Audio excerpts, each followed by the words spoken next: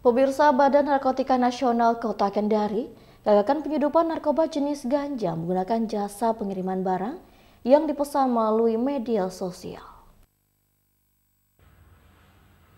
Petugas BNN Kota Kendari menangkap seorang sopir angkutan umum OS 25 tahun pengedar sekaligus pemakai narkoba jenis ganja di sebuah jasa pengiriman barang Kecamatan Poasia Kota Kendari saat mengambil paket ganja. Dalam penangkapan ini, petugas mengamankan satu paket ganja dibungkus dalam plastik bening dengan berat 65,48 gram. Pelaku mengaku memesan ganja melalui media sosial Instagram dari seseorang di Medan, Sumatera Utara. Hasil tes urin sopir angkutan umum ini positif menggunakan narkoba jenis ganja.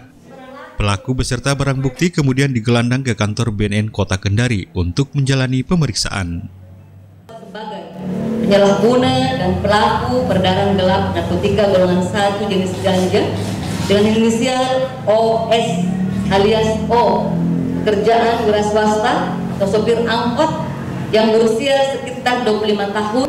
Pelaku dijerat pasal 11 ayat 1, Junto pasal 127 ayat 1, Undang-Undang nomor 35 tahun 2009 tentang narkotika, ancaman hukuman 14 tahun penjara.